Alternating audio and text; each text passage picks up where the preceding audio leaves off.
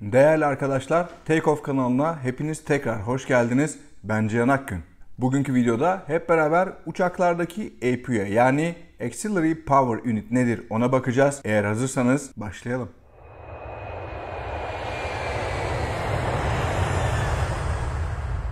Özellikle küçük havaalanlarında mesela Kastamonu ya da Edremit gibi uçağa binmeye ya yürüyerek ya da otobüslerle gideriz. Uçağın yanına geldiğimizde de motorların çalışmadığını görsek de yüksek ve tiz bir sesle çalışan bir jet motoruna benzeyen ses duyarız. Hafızaları tazelemek için o sese çok kısa bir göz atalım.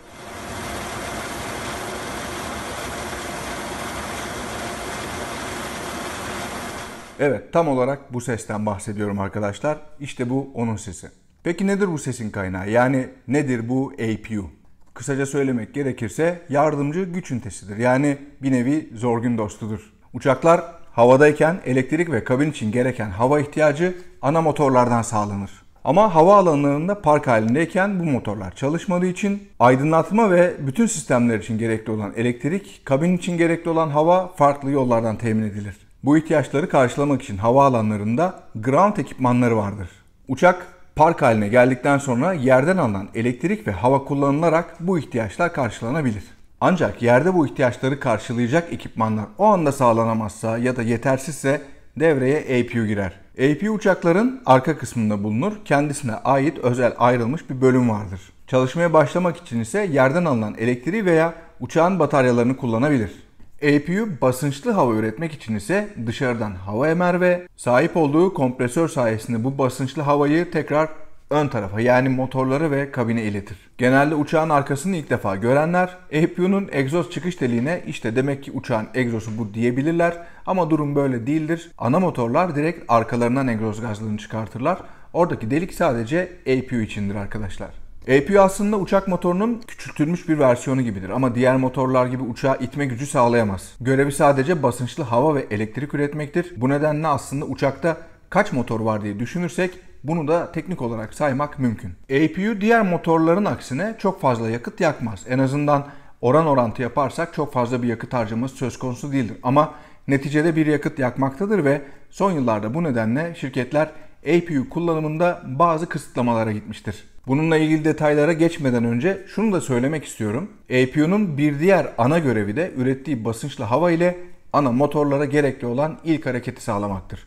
Yani APU çalışıyor, motorlara hava gönderiyor ve motorlar çalışmak için gerekli olan ilk hareketi bu hava vasıtasıyla yapıyor. Gerekli devinim sağlandıktan sonra da motorlara yakıt verilerek ateşleme sağlanıyor ve böylece tam güç çalışma elde edilmiş oluyor. Hatta bu havadan yararlanma olayını şöyle anlatabilirim. Pilotlar pushback esnasında ya da pushback bittikten sonra motor çalıştırmaya başladıklarında bize kabine gelen havanın kesildiğini hissedebilirsiniz. İşte o havanın kesildiği anda APU'dan alınan tüm basınçlı hava motorlara verilir ve motorlar çalıştırılır. Sağ motor çalıştıktan sonra sol motorda yine APU'dan alınan hava ile çalıştırılmaya devam edilir. Tüm motorlar çalıştıktan sonra da APU kapatılır çünkü artık elimizde hayvan gibi çalışan kocaman uçak motorları vardır ve APU'ya şu an için ihtiyaç kalmamıştır. APU'nun bu özellikleri nedeniyle yedek güç ünitesi olarak kullanıldığını söylemiştik. Hatta zor gün dostu demiştik. Öncelikle Allah korusun diyelim ama eğer havada yakıt olmasına rağmen motorlarla ilgili bir sorun olur ve tüm motorlar susarsa APU çalıştırılarak uçağın sistemleri için gerekli elektrik ve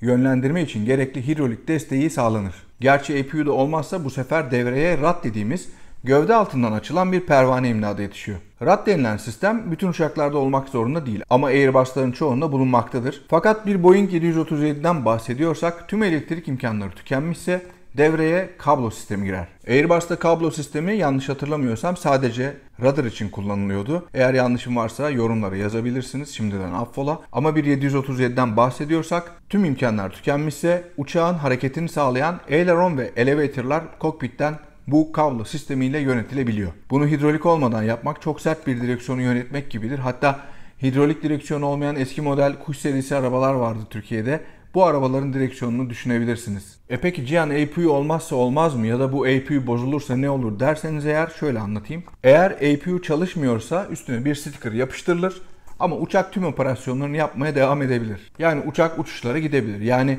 APU'nun yokluğu havaalanında yerden alınan elektrik ve hava ile giderilebilir. Ama bu durumda pilot uçağa geçtiğinde eğer APU'nun devre dışı olduğunu görürse overhead panelde şirketin operasyon bölümüyle konuşur ve gidecekleri meydanda grant ekipmanlarının sağlanıp sağlanmadığını teyit eder. Operasyonda biz görüştük kaptanım destek var derse sorunsuz şekilde gidilir. APU devre dışı bir halde bir meydana gidildiğinde ne olur onu anlatayım. Park haline gelindiğinde motorlar kapatıldığı için çalıştırılması esnasında yerden alınan hava ile ilk hareket sağlanır.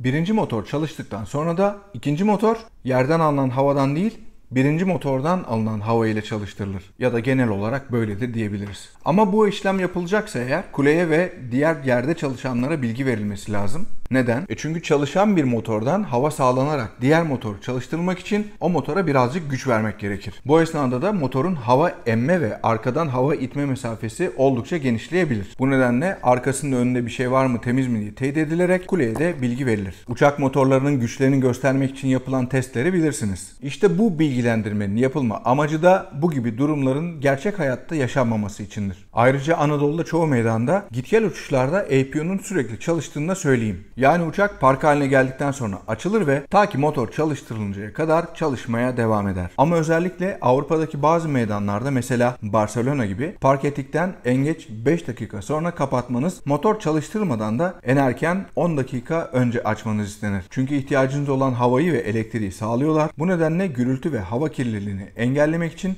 böyle bir kısıtlamaya gitmişler. APU'ların oldukça fazla çeşitleri vardır. Hatta 737'lerde ondan fazla yanlış hatırlamıyorsam 14 tane APU tipi var kullanılan. Ayrıca diğer motorlar gibi APU'nun da güvenlik önlemleri var. Yangın, düşük yağ basıncı, yüksek yağ sıcaklığı ve overspeed durumlarında APU otomatik olarak kapanır. Ayrıca APU'nun da çalışmak için belli irtifa limitleri vardır. Ondan bahsedeyim son olarak. Mesela 737'de sadece basınçlı hava için 17.000, sadece elektrik için 41.000, eğer hem elektrik hem de basınçlı havaya ihtiyaç varsa maksimum 13.000 fite kadar çalıştırılabilir. Konuyu toparlayacak olursak uçakların operasyonlarını eksiksiz olarak sürdürülebilmesi için önemli bir parçadır. Ama olmazsa olmaz da değildir. Bu videoyu kapatmadan önce şunu söylemek istiyorum. Havadan sudana verdiğiniz tepkiler, olumlu yorumlar ve eleştiriler için çok teşekkür ediyorum arkadaşlar. Havadan sudan tüm hızıyla devam edecek. Bana her konuda yazmaya devam edin lütfen. Fikirlerinizi, eleştirilerinizi ve önerilerinizi bekliyorum. Birbirinden önemli konulara değinmeye devam edeceğim. Sizlerden gelen öneriler başta olmak üzere video izlediğiniz için hepinize çok teşekkür ediyorum. Eğer video hoşunuza gittiyse beğenmeyi ve kanala abone olmayı lütfen unutmayın. Tekrar görüşmek üzere. Hoşçakalın.